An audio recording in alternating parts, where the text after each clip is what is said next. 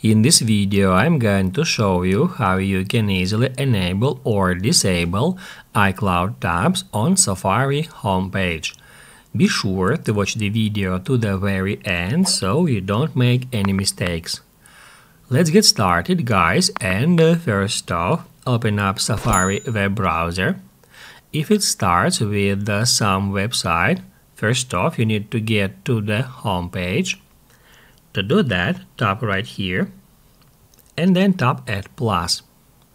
You will be taken to Safari home page where first off you need to scroll down to the very bottom where you can easily find that edit button. Just tap on it and you will be taken to Customize Start Page tool.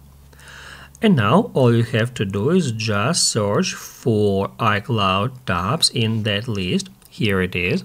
Now uh, to enable or disable it you can just interact with that button. So in this way we can turn it on and in that way we can hide it from the start page.